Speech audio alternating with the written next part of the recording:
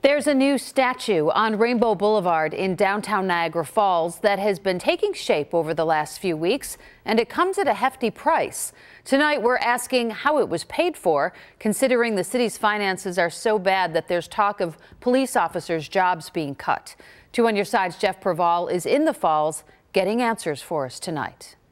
The sculpture in Centennial Circle on Rainbow Boulevard in downtown Niagara Falls is supposed to symbolize the unity between the U.S. and Canada. The controller for the city says the city council has spent more than $80,000 in taxpayer funds on this sculpture, and the state has spent more than a half a million dollars, bringing the total to more than $619,000.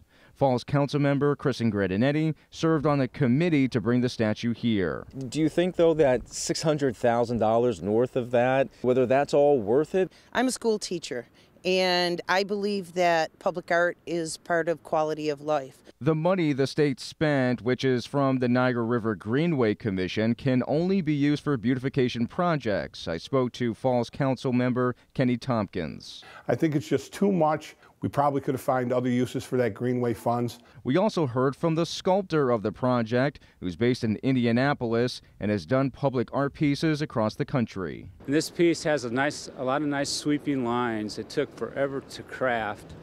There's a lot of love that went into that and a lot of work.